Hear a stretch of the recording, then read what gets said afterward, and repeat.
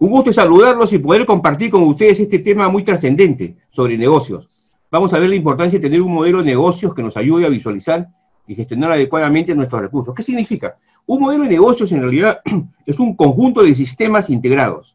Entonces, actualmente ahora se habla ya de modelos, anteriormente se hablaba solamente de métodos, ¿no? Entonces, ¿qué es lo que sucede? Los modelos ahora hay que formularlos y hay que visualizarlos. Y eso es importante. Por eso vamos a ver este, los modelos de negocio actualmente vigentes en el siglo XXI. Dentro de, dentro de la investigación que he hecho, hice una investigación en Colombia y me, verdaderamente me quedé sorprendido porque de 147 mil emprendedores, dos tercios de su negocio no alcanzan los resultados y un tercio sí lo alcanza. Y yo tuve una experiencia en el Perú sobre este tema. A mí me, llamó en un momento dado el alcalde de, de Miraflores, Andrade, y me dijo, Víctor, yo quiero que tú me digas por qué los negocios que, empiezan en Miraflores a los 12 meses, 18 meses, se retiran. O sea, pequeños negocios, eh, librerías, restaurantes. Entonces, este, yo hice el trabajo, hice el trabajo con aquellos negocios que estaban estables, los que se habían retirado y también este, los que pensaban retirarse y con, los, con los bancos, con las entidades financieras, ¿no? llegamos a una, a una conclusión. Entonces, un flujo de caja, ¿no? Ya yendo a la parte operativa, sobre, sobre 12 o 18 meses, ese flujo de caja pues es hipotético, es teórico. Entonces tú vas viendo de que se va mermando una serie de recursos que tienes y llega un momento en que tienes que cerrar el negocio. Entonces la, experiencia, esto, la enseñanza, es que una masa crítica de posibles clientes, de clientes, o sea, de prospectos, son 24 meses. O sea, si tú quieres poner un negocio, piensa que en 24 meses no vas a tener ingresos o tendrás muy, muy pocos ingresos. Te podrán contar ahora con las herramientas, que el Facebook, todo el mundo te puede contar cosas perfecto, puede salir como no puede salir, pero lo importante es que tu negocio permanezca en el tiempo. O sea, lo que tú necesitas es gente que te venga a comprar o que le puedas, que le puedas dar tu servicio. En 147 ciudades en Colombia, el promedio de los, de los empleados y autoempleados verdaderamente este, viven de sus pensiones y ahorros y no están satisfechos. O sea, hay un problema de calidad de vida. O sea, hay un problema en América Latina sobre la calidad de vida. Pero nadie lo dice, no lo hablan los investigadores, hablan cosas generales, ¿no? El Producto Bruto Interno, la canasta familiar, ¿no? Pero no hablan en realidad sobre lo más importante que es la calidad de vida. Y la economía está, está en realidad formada para mejorar la calidad de vida. Entonces, ¿qué observamos? De que el valor del dinero está disminuyendo permanentemente, y eso es algo cierto, ¿no? Eh, y uno se siente a veces culpable de gastar el dinero, pero también quiere tener ingresos pasivos masivos. El ingreso pasivo masivo es, un, es, un, es una característica de negocios que más o menos que en realidad se desarrolló mucho en los Estados Unidos, Norteamérica, a principio, eh, a mediados del siglo pasado, estamos hablando de, 2019, 2018, 2017, desde antes, eh, y, pero se trabajó mucho con la bolsa, se trabajó mucho con los ingresos financieros. Entonces hubieron pues varios ejemplos y, a partir de ahí empezó a, manejarse todo el tema financiero. Pero eh, también ingresos pasivos masivos nos dan las propiedades inmuebles. Entonces, Normalmente esa experiencia sí la tenemos, eh, que, te, permite tener ingresos sin que tú labores diariamente o, mensualmente o semanalmente. Entonces, el ingreso pasivo masivo actualmente se ha convertido en un ingreso, pero ¿qué es lo que sucede? Está muy explotado la parte financiera. La parte financiera. Entonces, en la parte financiera han aparecido pues, una serie de instrumentos como el Bitcoin, y Forex, que en realidad eh, tienen una, una alta, un alto riesgo, ¿no? el, ingreso pasivo masivo más adecuado es el de tener activos que te permitan en realidad tener ingresos medianos, pero, pero permanentes. De tener activos. Esos activos pueden ser inmuebles, pero que, te permitan ingresos permanentes, pero de una manera sostenida. Pueden ser una pequeña empresa, puede ser un emprendimiento. Y el otro tema es que podrías tener una organización donde tienes gente que trabaja para ti. El concepto de emprendimiento se ha relacionado hacia lo que son los ingresos pecuniarios. Pero esa es una locura, porque tú de repente puedes llegar a un nivel espiritual alto a través de un emprendimiento y de, un cambio en tu vida, y el de tu familia o el del grupo. Entonces, los emprendimientos pueden ser, pues, este, religiosos, pueden ser, los emprendimientos pueden ser... La palabra entreprender en realidad viene de Francia, no viene de Estados Unidos. Entonces, todas esas características de emprendimiento son las formas en las que tu, espíritu interno debe manifestarse a través de actividades. Esa es la idea, ¿no? Entonces vamos a conocer los modelos de negocio del siglo XXI con este preámbulo que he querido darles, qué es lo que está sucediendo. Y, este, y este trabajo lo he hecho en base a investigación. La pregunta es, ¿por qué no alcanzamos resultados? Entonces, acá hay un tema que es interesante. Hablamos de planeamiento. Nosotros conocemos que hay un planeamiento estratégico y hay un planeamiento operativo, ¿no es cierto? El, el tema del planeamiento es importante relacionarlo a la persona. Yo, por ejemplo, yo quiero un planeamiento para cuántos años? Dos, tres, cuatro años, ¿no es cierto? Pero si yo, yo tengo mi, mi, negocio familiar, seguramente yo debo de tratar de hacer un planeamiento para que haya una, una sucesión del negocio. Eso es con lo que yo me he encontrado. Yo me he encontrado con muchas personas mayores que no han hecho, que tienen empresas individuales de responsabilidad limitada, y no han hecho un planeamiento de sucesión, y la sucesión es fundamental.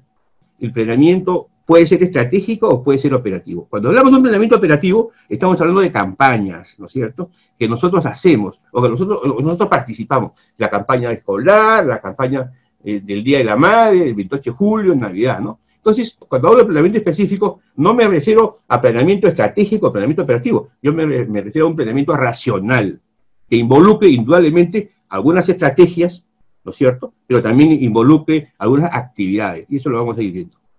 Entonces, lo, más difícil que yo he observado es que no sabemos a dónde ir. Ese es el problema. Entonces, en este caso, por ejemplo, que, viene, que ha venido el COVID-19, eh, sí, podemos tener ya una idea general de que la, economía se ha reducido, de que las actividades se han reducido, pero, siguen habiendo demanda de, de nuestros productos y nosotros podemos ofertar nuestros productos. Entonces, es el momento de afinar. ¿Qué debemos hacer? Ahora, afinar. En los cuatro estados financieros, el balance, el estado de pérdidas y ganancias, el flujo efectivo y el cambio en el patrimonio, yo me siento con el gerente y le pregunto, este, de tus estados financieros, ¿cuál es el más importante? Entonces, uno me dicen, uno me dicen este, el balance, otro, el estado de pérdidas y ganancias, porque estoy viendo el tema. El estado financiero más importante en una organización empresarial es el flujo efectivo. ¿Y por qué el flujo efectivo? Porque el flujo efectivo le da la historia de cómo ha gastado usted el dinero entonces lo que tenemos que ver nosotros es cuál es el costo del dinero que hemos tenido. Y nos vamos a dar cuenta que lo que hemos comprado, lo que hemos vendido, lo que ha hecho, si, tú le sumas la inflación y eleva, te das cuenta de que verdaderamente no has ganado, sino has perdido o has dejado de ganar. Entonces, el flujo de efectivo es un instrumento financiero que el contador, al contador no le interesa, a él lo que le interesa es cuadrar tus ingresos, pero él nunca te va a decir la importancia del flujo financiero. Eso te lo va a decir un financista normalmente, ¿no? Entonces, el, flujo de efectivo es muy importante. ¿Por qué? Porque hay una palabra que es trascendente en la economía, que se llama el costo de oportunidad. Y algo sencillo para conversarlo. ¿Qué es el costo de oportunidad? Es, es, la oportunidad que tienes tú de comprar algo o no comprarlo, venderlo o no venderlo. Ese costo de oportunidad que significa dejar activos, corrientes o no corrientes, y o salir de tus pasivos que tienes, en realidad, va, va a significar en realidad el costo de oportunidad. Y el costo de oportunidad, ¿dónde influye? En el patrimonio. ¿No? Entonces, ese es un tema importante en lo que es el flujo de ingresos. Y conocer el mercado hay que trabajar, hay, que analizar, hay que conversar con, los que están en el negocio, o sea, es un trabajo eh, que hay que conocerlo. Entonces, eh, porque al final de cuentas, el mercado está compuesto de segmentos del mercado, y los segmentos del mercado están compuestos de nichos, entonces cuando un modelo de negocio no se ha formulado adecuadamente a través de la integración de sistemas, no solamente sistemas operativos, de tecnología de información, sino sistemas de producción, sistemas de comercialización, sistemas logísticos, no funcionan. Esta, esta diapositiva es importante sobre los resultados. ¿Y qué son los resultados? Es el desempeño que tiene tu organización. ¿no? Entonces he tratado, en pocas palabras, de eh, dar algunos lineamientos. Estamos ante una realidad, la, la globalización. ¿no? Entonces, hay tendencias, y, en realidad no podemos perder tiempo. Pues. Nosotros pensamos que tenemos clientes leales. Bueno, esa es ahora una pregunta. Ya no hay clientes leales, lo que hay es clientes de oportunidad. Porque el cliente leal es la persona que, escoge ahora su proveedor. Y posiblemente ya no te escoja. Y bueno, es, es parte de la vida, ¿no? Pero entonces la globalización es cómo encontrar o cómo ser diferente. ¿Cómo ser diferente? Entonces, para ser diferente nosotros tenemos que mostrarnos, no podemos estar encapsulados. Nosotros tenemos que mostrarnos a diversos sectores de la población o a diversos segmentos y mostrar nuestro mensaje. Entonces, ¿qué es importante en una globalización? Tener un mensaje. Y ese mensaje continuarlo, continuarlo. Ese mensaje normalmente puede ser a través de los valores que tú haces conocer o a través de los medios en los que tú te comunicas. Pero cuando tú tienes un mensaje, por ejemplo, si nosotros pensamos en Japón, calidad. Si nosotros pensamos en Alemania, cumplimiento, con las cosas bien hechas, ¿no? Entonces, son cosas que ya, eh, y antes pensábamos en los chinos, una porquería, ahora pensamos de que son unos competidores. Entonces, eh, eso, lo importante es el mensaje. ¿Cuál es el mensaje? Ahora, hay una característica que esto sobre las comunicaciones. Hay un tema que es importante, que las intenciones del emisor, o sea, de nosotros, sean comprendidas por el receptor. O sea, dentro del mensaje que nosotros damos a través de, a través de las redes sociales, a través, a través este, de orales, escritos, en realidad van a tener un ruido normal. Ruido de nuestros competidores, o ruido, o ruido de diferentes características, pero aquí hay algo que es importante. El receptor del mensaje tiene una sensibilidad, que a veces no escuchamos lo que tenemos que, que recibir. Entonces, es importante que nosotros, cuando tengamos un mensaje, continuemos con ese mensaje, y sepamos de que lo han comprendido los que lo, los que lo reciben, lo cual es una técnica indudablemente que la manejan los comunicadores, ¿no? Pero que también es importante porque ahora estamos viendo en las campañas, por ejemplo, presidencial, la última que tuvo Trump eh, fue excelente. Él manejó, él manejó las, sus intenciones hacia un, hacia un, tipo de, de, personas votantes y parece que logró resultados. Y se hizo conocer, él tiene un mensaje. Por ejemplo, Trump tiene un mensaje yo no estoy ni a favor ni en contra, aunque sí tengo mi decisión, pero me, guardo en este momento mi decisión, ¿no? sobre lo que opino sobre este señor. Eh, pero quiero hablar bajo el punto de vista estratégico y bajo el punto de vista eh, de conseguir objetivos. Él, él, hace, él hace conocer su mensaje. Es, un ejemplo. Es un ejemplo que su mensaje lo hace conocer. Pero yo quiero ir a la parte, a la parte de, cómo llegó a ser multimillonario, cómo es que este, llegó a la presidencia, ¿no? y, cómo, es que, cómo es que trata de, hacer conocer el mensaje. Entonces, siempre que nosotros tengamos nuestra organización, tenemos que sentarnos con el segundo y con la persona que nos ayuda, el gerente financiero. ¿Cuál es el mensaje? Vamos a ver. ¿Cuáles son las intenciones que queremos dar? ¿Cuál es este, eh, qué es lo que quiere recibir? Entonces nos vamos a dar cuenta que hay una distorsión. Yo hace poco eh, he tenido una certificación de lo, que es la experiencia del usuario, una certificación internacional donde en la experiencia del usuario, eh, el primer paso que hay que ver es el paso relacionado a lo que es la empatía. Entonces, la empatía es sumamente importante los negocios, en la tendencia. Entonces, ¿cuáles son los problemas que tenemos los emprendedores? La, falta de liquidez. Eh, cuando yo pongo dinero, no he querido ampliar, pero es, pero es falta de liquidez. Entonces, eh, ¿qué es lo que sucede? En la parte financiera es un triángulo importantísimo, que es liquidez, solvencia y rentabilidad. La liquidez te permite operar. Entonces, nos falta liquidez para operar. Solvencia es cuando no podemos cumplir nuestro compromiso con los proveedores o, con otras personas. Entonces, cuando te falta liquidez, normalmente te afecta la solvencia. Y la rentabilidad indudablemente viene a menos. Entonces, ese es uno de los problemas que tienen los emprendedores de negocios. Por eso es que el estado financiero más importante es el, de flujo, el flujo efectivo, porque tenemos que ver cuál es el costo de la liquidez. Este es algo que es importante. Eh, tenemos que acostumbrarnos a administrar el tiempo, o sea, hacer una agenda y el tiempo relacionado a la parte empresarial y a la parte personal, porque ese es otro problema. Dejamos de lado la parte personal y la parte del tiempo es, disciplina. Entonces nosotros tenemos que tener una disciplina porque debemos de, poner el tiempo adecuado. Pero no solamente para nosotros, sino también para el personal que tenemos, cómo ellos manejan su tiempo y cómo ayudarlos. La falta de conocimiento y la falta de confianza en su negocio. Bueno, tenemos que tener confianza. Entonces, yo he observado y es difícil decirlo, porque eso tiene que, cuando conversas con la persona, la falta de confianza en su negocio es porque ellos tienen una falta de fe. La parte espiritual, eh, de no creer en algo superior o en ti mismo, entonces no tienes confianza en tu negocio. Ahora vamos a ver varios modelos de negocio. ¿Qué es lo que interesa? Vamos a ver el modelo de negocio Canvas, el Solución Azul y el modelo g ¿Qué es lo que es el marketing en realidad? Y esto es importante. Es una relación con los clientes, una relación rentable con los clientes. Entonces, tenemos que tener dos cosas o captamos nuevos clientes o conservamos a los clientes actuales y desarrollamos su valor. Entonces, ¿cómo captamos nuevos clientes? Hay miles de formas de captar nuevos clientes. Tienes que acercarte a ellos. Y en eso nos ha ayudado. entonces, el Internet nos ayuda a captar nuevos clientes porque tenemos nuevas plataformas. O captas nuevos clientes, tienes que ver la forma, tienes que esforzarte, tienes que tener entusiasmo, tienes que tener pasión para captar nuevos clientes, tienes que dejar de ser un poco egoísta y salir a buscar nuevos clientes, te van a cerrar la puerta, sigue el siguiente, te van a cerrar la puerta, sigue el siguiente. Entonces, uno aprende cuando uno le cierran la puerta y algo que he aprendido. Y eso lo aprendí cuando salí de la Marina. Me refiero a las objeciones. uno tiene que aprender a reconocer las objeciones que tienen los clientes. Y siempre hay objeciones. Normalmente hoy en las redes sociales te, ponen preguntas frecuentes, ¿no? Para que tú este, la, respondas o consigas información. Entonces, el captar nuevos clientes va a requerir una, una comunicación directa. Puede ser por teléfono en estos casos, ¿no? Es la búsqueda. Hay que acercarse. Hay que acercarse. Y, y conservar los clientes actuales es todo un trabajo y desarrollar su valor.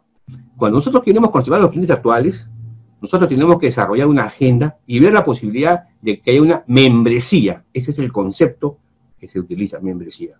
Pero es una membresía que los va a ayudar a ellos a tener información actualizada. Claro, todo el mundo dice, no, tú entras a internet y buscas. No, pero una cosa es lo que tú buscas y cuando a ti te llega información a ti sobre una serie de temas que te dan beneficio, ese es el valor de la membresía.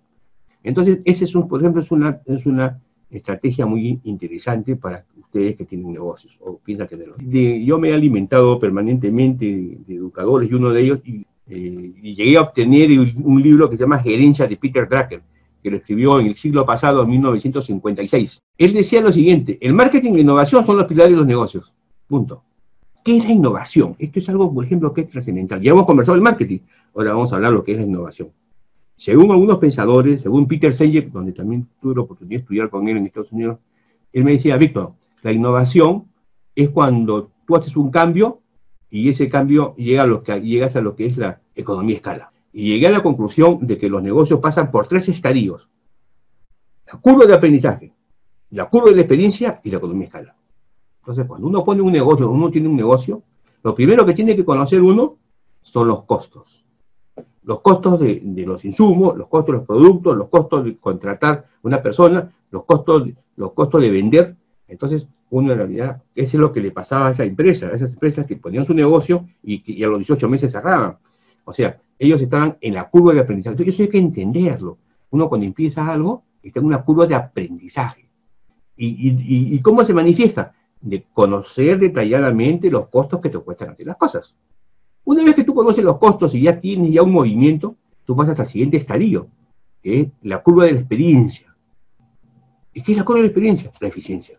La, curva de la experiencia se da cuando hay eficiencia. ¿Y qué es la eficiencia? Vamos a hablar desde el punto de vista económico. La eficiencia es la capacidad de producir bienes y servicios a un menor costo. Entonces, tú puedes tener tu negocio y eres eficiente. Por ejemplo, un restaurante que maneja adecuadamente su negocio es eficiente. Claro, es eficiente porque ya, ya ya sabe, ya, ya ha llegado a, disminuir los costos hasta tal nivel en el que no afecta al cliente y tampoco afecta a la empresa. Entonces, marketing no es un sinónimo de ventas o de publicidad, eso es importante entenderlo. Una cosa es la venta o la publicidad y otra cosa es marketing. Entonces, lo que vemos en el marketing son actualmente los cambios, los avances tecnológicos, y eso lo estamos viendo. Y hoy eso es importante, importante.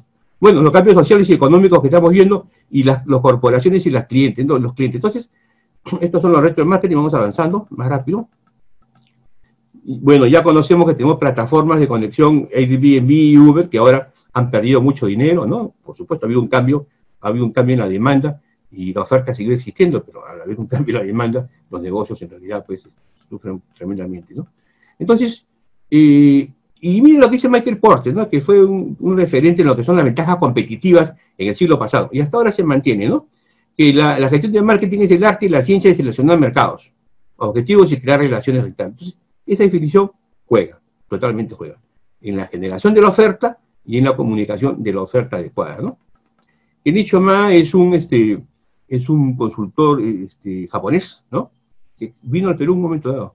Y a mí me gustó mucho porque él interrelacionó la estrategia militar con la ventaja competitiva, con Michael Porter. O sea, él escribió un libro que se llama La mente de la estrategia. Y encontré, dije, cómo, cómo la estrategia militar puede ser utilizada en lo que es la estrategia comercial. Porque en la estrategia militar tú tienes un enemigo, pero en la estrategia, en la estrategia empresarial tienes muchos competidores. Entonces, ¿cómo trabajar con varias amenazas? ¿no? Y, él, y él lo define bien. Él dice que hay una segmentación, eh, hay, una gestión de clientes y la demanda, pero hay, hay una segmentación por cobertura y una segmentación por objetivo. Ese es el único, esa es la única segmentación que yo he visto a, nivel estratégico, no de marketing estratégico él dice que la segmentación por cobertura es cómo llegas tú al mercado meta con tus activos. Importantísimo. O sea, tú quieres vender mil unidades, pero no tienes capacidad de producción, no tienes dinero. No vendas mil, vendes cuatro, ocho, veinte. Y dos es la, segmentación por objetivo. cómo usa el cliente tu producto. Y ahí el ejemplo más tácito es el de Blockbuster, ¿no? Perdón, Blockbuster no, sino el de, el de Starbucks. O sea, todos tomamos café, pero a, Nestlé no se le ocurrió, en realidad, a poner el café, pues, este, eh, eh, él tenía el café, él compraba la producción de café, pero no se le ocurrió poner una tienda. Él venía vendiendo sus latas. O sea, Nestlé no innovó. Nestlé se quedó. Como se están quedando muchas empresas, ¿no? Entonces es importante hablar sobre el tema de la concepción estratégica. La concepción estratégica es el, es el memorándum del CEO. O sea, cada dueño de negocio debe escribir un memorándum. Es lo que en la, parte militar se conoce. Tú haces, tú haces tu documento de dos hojas. Ya después viene el plan estratégico, ya eso viene después con el, equipo. Pero lo que tú piensas, ¿cuál es tu pensamiento estratégico? Por ejemplo, una de las cosas extraordinarias fue conocer cuál es el pensamiento estratégico de, de Israel en, en 1950, 1957, 57. ¿Cuál es el pensamiento estratégico de Israel? Bueno, ahora tú ves a Israel que produce armas, nadie se mete con Israel, ¿no? Eh, era sobrevivir, la sobrevivencia del Estado-Nación. Entonces nosotros tenemos en los más altos niveles de decir cuál es el pensamiento estratégico. Entonces, la condición estratégica se inicia con el pensamiento estratégico. Y la condición estratégica involucra, involucra el pensamiento estratégico e involucra los objetivos estratégicos. Entonces, si nosotros queremos hacer una empresa en el largo plazo, tenemos que pensar. Eh, ya hemos conversado sobre el, triángulo estratégico es clientes, empresas y, lo que es componentes, y la influencia en realidad sobre la plena satisfacción de los clientes, ¿no? Es un tema Bueno, vamos al modelo de negocios exitosos, ¿no? Ya. Este, este, este, libro que ven acá es el Business Model Generation, escrito por Alexander Osterwald. Este de manera general, antes del COVID, indudablemente, ¿Qué es lo que le preocupa a un emprendedor? 40% cosas que nunca ocurren. O sea, se llena de temores, de miedos, de cosas. ¿no? 30% cosas del pasado. O sea, vive mucho el pasado. Nosotros debemos de compartimentar. Si yo quiero poner mi empresa, yo tengo que ver a quién le vendo, cómo le vendo y qué hago. Que, lo que pasó, pasó, bueno, pasó, lo que pasó, pasó, no me interesa. No voy a estar yo alimentándome cosas del pasado. Eso es lo que nosotros debemos de tratar de que no nos destruya. Y miren, 12% de preocupación de salud, no se preocupa por la salud. ¿Y qué es lo que le afecta a un pequeño empresario? La salud. Así es. Distintas preocupaciones y preocupaciones reales 8%. Entonces, él debe preocuparse más por la salud, más por las preocupaciones de las ventas y de, la cobranza, olvidarse de las cosas del pasado y, eh, dejar los temores de lado. Eso. Este modelo Canvas, para explicar de manera general nomás, y después vamos a la parte específica. Fueron nueve años de investigación doctoral. O sea, fueron un trabajo nueve años. ¿Cuántas personas? 470 coautores de 45 países. O sea, 470 personas trabajaron en el modelo Capaz. ¿Cuántos comentarios subieron? 1.360. Y es usado por las principales empresas, ¿no? Y aquí se llega el, marketing es el centro de gravedad de las empresas, ¿no? ¿Cómo se trabaja? Este es lo actual. Lo actual es esto. Lo actual es que usted ponga un papelógrafo y ponga, lo que vamos a ver ahora, y trabaje con su gente y cada persona va poniendo, con su post-it, va poniendo sus ideas. Entonces, usted ya no, ya no escucha las peleas ya de la gente uno contra el otro. No, todos dan sus ideas. Y después todas las ideas, cómo todas las ideas se relacionan. Nosotros tenemos nueve bloques. Como ustedes observarán, tenemos nueve bloques. Pero ¿cuál es lo más importante? Lo más importante es la propuesta de valor. Esto es importante. ¿Qué es lo que proponemos? Entonces, lo que nosotros proponemos puede ser un producto que sea novedoso, que tenga un mejor rendimiento. En el arroz, por ejemplo, las mujeres compran arroz que se de más, ¿no? Que sea personalizado, que, sea atractivo al diseño, que el precio sea el adecuado. En realidad, la posibilidad de, de la reducción de costos, la reducción de riesgos. Tú lo compras y tienes menos riesgos la comodidad y la utilidad. Fíjese todos los componentes que debe tener una propuesta de valor. Esa propuesta de valor debe ser dirigida al segmento de clientes. Cuando yo hablo de segmento de clientes, yo puedo hablar, por ejemplo, vamos a poner una veterinaria. Una veterinaria, este, ellos tienen varios tipos de clientes. Tienen, por ejemplo, clientes que tienen que, sus animalitos, sus pets, tienen problemas de alergia. Ese es un tipo de cliente. El otro tipo de cliente no es de salud, sino que tiene que ver el tema de lo que son operaciones o, son, o, tienen ciertas características de alimentación, otro tipo de cliente. Entonces, entonces, uno tiene que hacer una propuesta de valor para cada tipo de cliente. Qué interesante, ¿no? Y eso lo vemos en el design thinking, que es que es cuáles son las características en realidad del usuario, la, experiencia del usuario. O sea, la propuesta de valor con segmento de cliente está, está relacionada a una sola palabra. ¿Cuál es la experiencia del usuario? Eso es una técnica nueva del siglo XXI, de 2010 al 2020. Antes no se hablaba de eso. Entonces, en la experiencia del usuario hay todo un tema de empatía, de cómo y de cómo, cómo y cómo se, se idea, cómo se define el problema, eso se ve nuevamente en el planeamiento militar. El, otro tema es las posibles soluciones y, después viene el prototipo. Y esto es lo que quiero hablar con ustedes. Cuando uno habla, cuando uno lanza un producto al mercado, es que es lo que sucede. Hay prototipos, o sea, puede ser que funcione o no funcione. Por ejemplo, los chinos se metieron a construir un portaavión. Prototipo. Falla, ¿no? Cuando nosotros hablamos de las relaciones con los clientes y los canales de comunicación, el canal de comunicación es dar a conocer a los clientes los productos y servicios. ¿Cómo damos a conocer? ¿Y cómo ayudamos a los clientes a los que lo evalúen? ¿Cómo doy a conocer? Tengo que ver la forma de conocer. El canal de comunicación es cómo doy a conocer. ¿Cómo doy a conocer? A través de los medios, a través de las personas, a través de la llegada. Entonces, el canal de comunicación es que, me es, no, es, tan caro y puedo yo dar a conocer. Puede ser un rumor, el boca a boca. Y la, relación, y, la, relación de los clientes es importante, es diferente. En la relación de los clientes es cómo yo al cliente, en realidad, puedo yo fidelizarlo.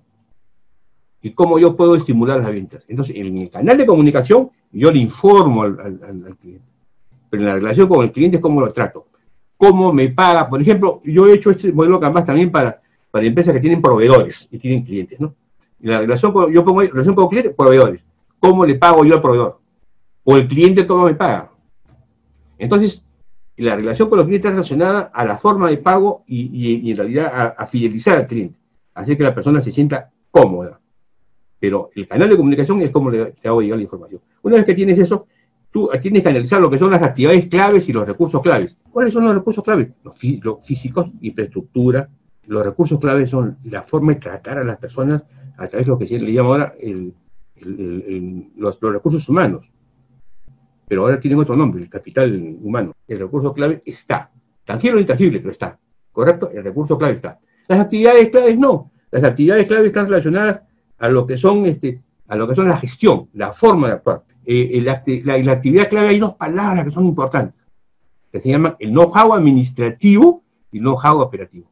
Entonces, el know-how operativo nosotros tenemos que tener que si nosotros en el recurso clave tenemos unas máquinas, el know-how operativo sería que las personas sepan manejar las máquinas adecuadamente y le hagan un mantenimiento preventivo, correctivo. Y después nos vamos nosotros a las, alianzas claves. Esto es importante. Las alianzas claves no solamente son las personas que, eh, eh, sino son instituciones, son organizaciones que hacen, que te ayudan a que tu producto sea rentable, que te ayudan a que tu producto se, se, maneje, bien. Las alianzas claves, por ejemplo, deben ser con las municipalidades, las empresas, con, los gremios, por ejemplo, o con grupos, grupos relacionados, ¿no? Ahora, ya tenemos para, para ya, vamos a modelar esto más, tenemos la estructura de costos y los flujos de ingresos. Entonces, eso ya es parte de la parte financiera, ¿no? Tenemos que hacer una buena estructura de costos. Pero, ¿cómo empezamos este modelo de negocio con base? ¿Cuáles son mis propuestas de valor y cuáles son mis clientes? Y ahí, ¿cómo me comunico con los clientes, ¿no es cierto? Y cómo hago una buena relación con ellos. ¿Cómo trabajo yo, por ejemplo, los recursos claves que tengo, los recursos físicos o intangibles? ¿Cómo los trabajo? ¿Cuáles son? ¿Cuáles me faltan? ¿Qué debo hacer? Y después, ¿cómo debo manejar mi know-how administrativo y operativo? ¿Cómo debo desarrollarlo? Y las alianzas claves que debo tener. Y en las alianzas claves también están los proveedores. Y eso, es, eso es tremendamente importante. Por ejemplo, en restaurantes, hay que eh, entrenar a la gente, debe poner bien los cubiertos, los productos, eso está muy bien. Pero, y, lo que está detrás del, del escritorio o sea, el proveedor, la, calidad, la calidad del proveedor. Esta es la parte teórica, pero vamos a la parte práctica que, de un trabajo que yo hice. El modelo Canvas del, de Gamarra.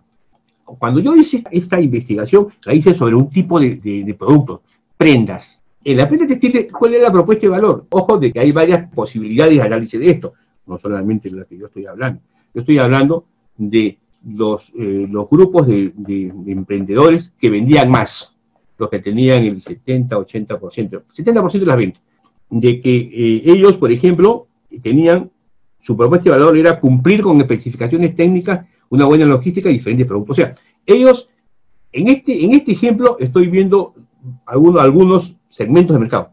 En este caso, sector público y privado. En el sector público, las instituciones del Estado que, requerían este, prendas, ¿correcto? Y en el sector privado, sí, habían varios tipos de, diferentes. Habían, eh, textiles que le compraban, este, mandaban a hacer las telas, ¿correcto? Es más, le daban el hilo, se mandaban a hacer la tela y les exportaban. Otros eh, les daban la tela para que hagan los productos sin, marca y le ponían una marca en el extranjero. Entonces, había, hay varios segmentos de mercado en el sector público y privado. Están todos relacionados a las especificaciones técnicas y a la logística. Esa es la propuesta de todo. Ahora, eh, ¿cuáles eran los canales de comunicación más adecuados? ¿Cómo se comunicaban? Por, el, este, por el inventario. O sea, de acuerdo al inventario que ellos tenían, o sea, si ellos estaban trabajando un producto y no podían atender al, ya sea al gobierno, al sector público o a, los empresarios, ellos, comunicaron. Había buena comunicación. ¿Y, quién y qué, relación eran con los, con los grandes compradores? O sea, pero detrás de eso hay la producción de prendas para otro tipo de clientes. Por ejemplo, prendas que se venden en el interior del país, ¿no? Y los recursos claves eran pues la manufactura, definitivamente, son unos tromes, los, operarios y el acabado. Entonces, ahí hay, por ejemplo, una especie de clusters, o sea, una persona corta, en otro taller que está cortado, lo cose, en otro taller le pone la... O sea, ya, hay un sistema de trabajo ahí este, establecido. Entonces ya los recursos claves, como en pollo de gamarra, se trabaja muy bien. Hay, toda una cadena de valor y una cadena productiva que uno no la ve, pero que existe, ¿correcto? Y las actividades claves en realidad eran la gestión de emprendimiento. Entonces, eh, uno, uno de los, si usted me pregunta, uno de los negocios en ese momento, cuando hice el, trabajo, uno de los negocios que tenía más rendimiento era las tiendas que vendían traje de novia. O sea, las personas que vivían por ahí en la Victoria, las chicas iban a comprar su traje de novia, ahí una tienda de gama. Se hizo rico. Pero mire, se concentró en los trajes de novia. No se puso a, hacer ropa interior, no, traje de novia. Y las alianzas claves en ese momento eran prácticamente aquellos que trabajaban en el canal de distribución.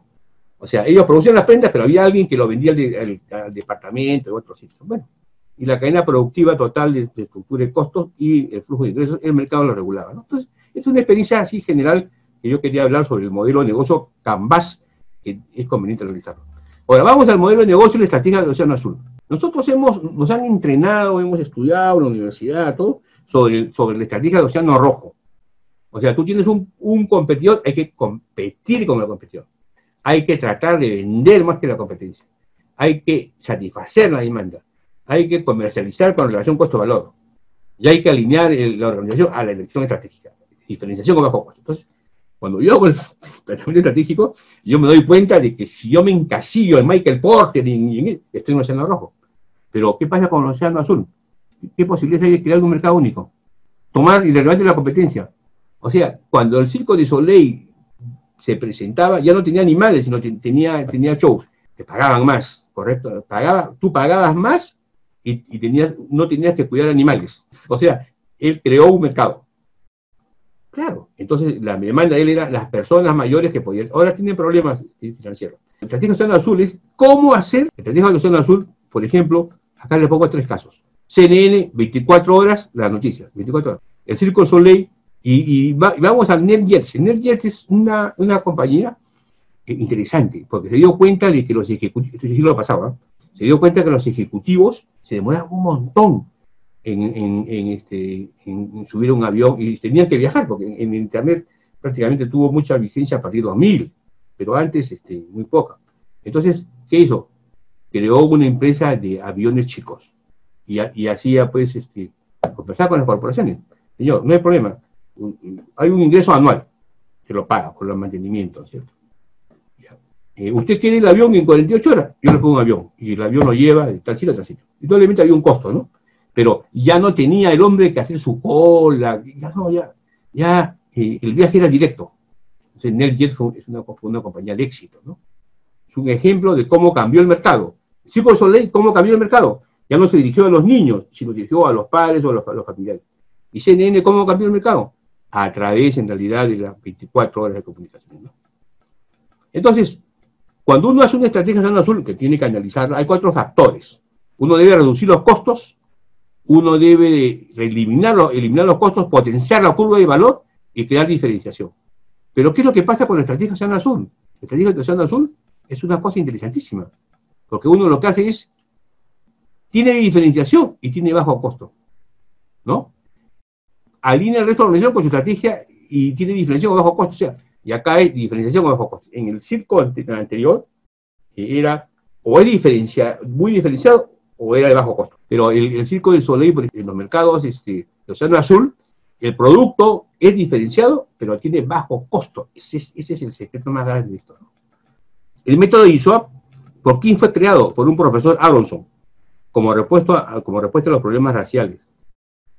Eh, y había un problema ahí de competitividad en las clases. él, él, dijo, acá hay problemas de competitividad, ¿no? Yo tengo que solucionarlo, ¿no? Sí, y creó un método. Ya, este es el método que a mí me gusta. Miren, en este método nosotros observamos que hay tres componentes, cimientos, marketing y estrategia.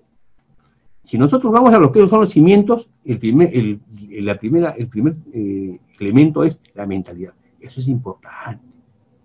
O sea, la mentalidad es fundamental. Entonces, nosotros en nuestra organización debemos tratar de, de adecuar una mentalidad positiva, de desarrollo. No podemos estar mirando la, la crisis como crisis solamente, sino como, oportunidades.